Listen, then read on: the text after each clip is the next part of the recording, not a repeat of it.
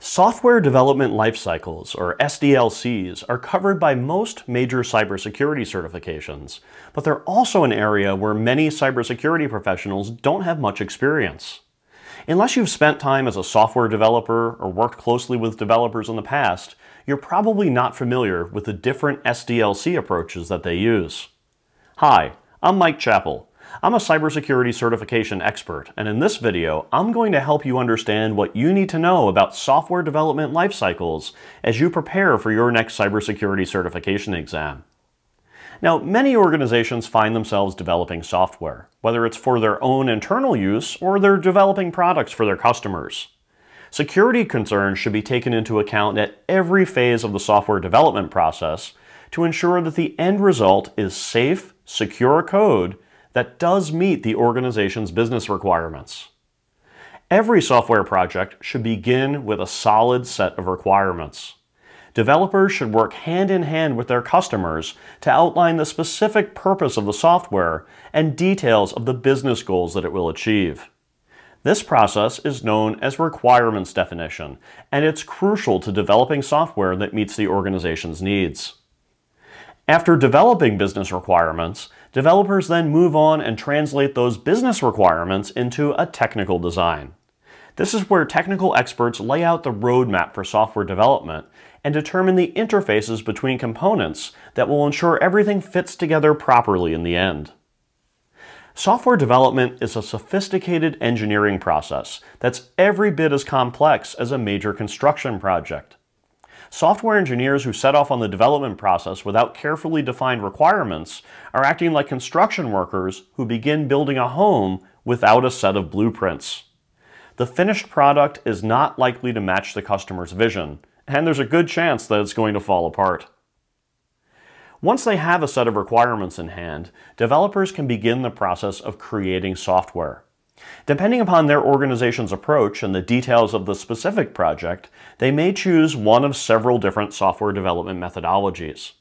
Now before we get into those methodologies, I want to take a moment to invite you to visit my website at certmike.com. On that site, I have free study plans put together to help you earn your next cybersecurity certification. The plans tie together the content that you'll find in study guides, video courses, and practice tests to help you prepare for your next certification exam and pass that test on the first try. Also, if you're enjoying this CertMike Explains video, please take a moment to click the like button below to help other people discover it. If you subscribe to my channel, you'll be among the first to see my other cybersecurity videos as they come out. Alright, let's get back to exploring software development approaches. The classic approach to software development is a methodology known as the waterfall approach. This model, developed by Winston Royce back in the 1970s, approaches software development as a very linear process. It follows a fairly rigid series of steps.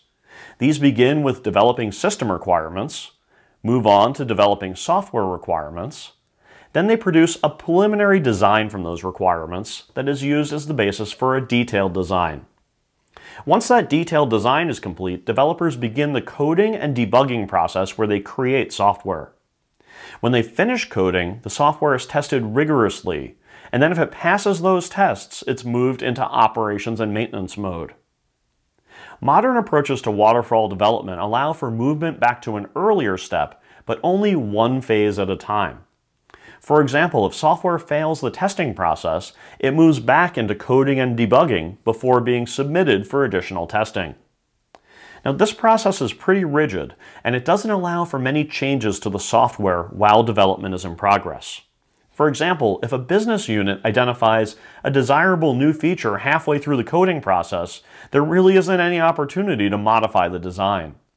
Because of this constraint, there aren't many modern software development shops that still embrace the waterfall model. In the 1980s, Barry Boehm of TRW introduced the spiral model, a software development approach designed to mitigate some of the disadvantages associated with the waterfall model.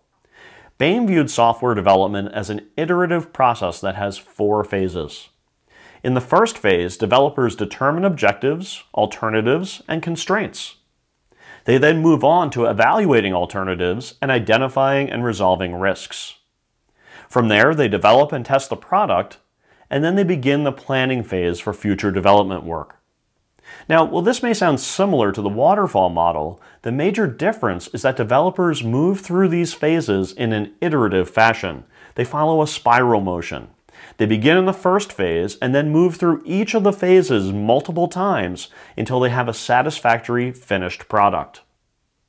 More recently, developers around the world have come to embrace the agile approach to software development.